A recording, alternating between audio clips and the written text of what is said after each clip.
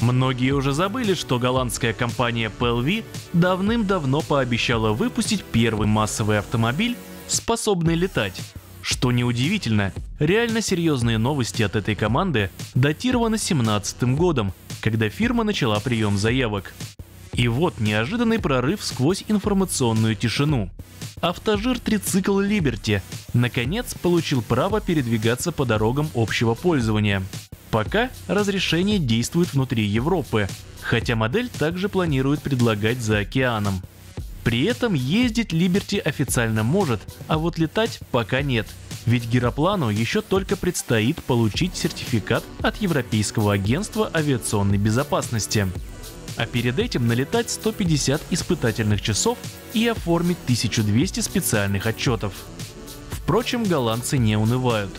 Старт продаж компания PLV уверенно назначила на 2022 год, которому клиентам предстоит заготовить по полмиллиона евро.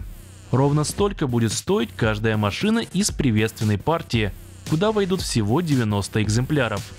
К слову, за такие деньги вполне реально купить целый вертолет от именитого производителя или несколько новеньких автожиров. Хотя понятно, что традиционные виды летающего транспорта не обладают такой универсальностью.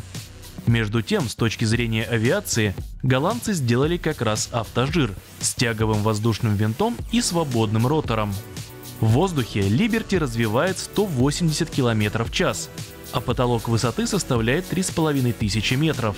В зависимости от нагрузки модель способна преодолеть 400-500 километров. А вот мотоциклисты скажут, что перед нами трицикл. И будут правы. Но складные хвост и лопасти указывают на способность летать.